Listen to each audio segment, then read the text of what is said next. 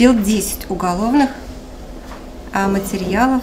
Это меры пресечения, значит, заключение по стражу, продление меры пресечения, там, материалы уголовной инспекции, материалы из колонии, которые поступают к нам и К8.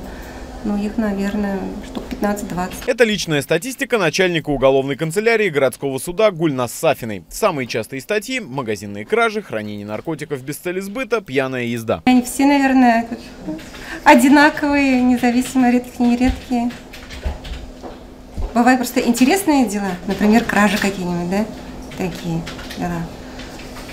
А так уж они все обычные. Но с чем не будут спорить даже самые искушенные эксперты, так это с тем, что одни из самых интересных и запутанных уголовных дел возбуждаются по статье 159 Уголовного кодекса «Мошенничество». Здесь тоже есть своя интересная статистика. Не так давно в суде прошел процесс над подсудимым, которого обвиняли по 89 эпизодам. Гособвинитель зачитывал обвинительное заключение почти два часа. Дал указание водитель не в предварительном следствии направиться на одну из пунктов приема лома черного металла, расположенный на территории города Альмица-Каменского муниципального района, для выгрузки похищенных и ушибаемых труп. И это не самый долгий монолог в истории городского суда. В вашей практике это вот сколько максимум было?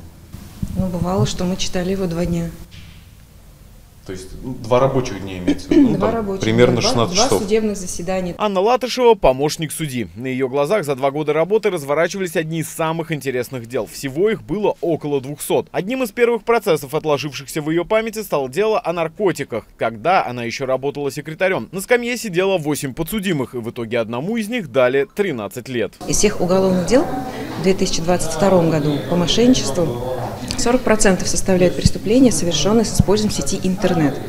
К примеру, рассмотрено уголовное дело в отношении молодого человека, который в сети интернет в разных городах размещал объявления о продаже автомобильных колес. В городском суде дела о мошенничестве гости нечастые. На сегодня их всего 25. Среди них есть дело, содержащее 66 томов. При среднем значении 1-2 тома в деле. Больше всего их там, где их возбуждают, то есть в полиции и в Следственном комитете. За первое полугодие жертвами махинаторов стали 292 альметьевца. В прошлом году за тот же временной отрезок зафиксировали 186 случаев. Тимур Туманов, новости Юго-Востока.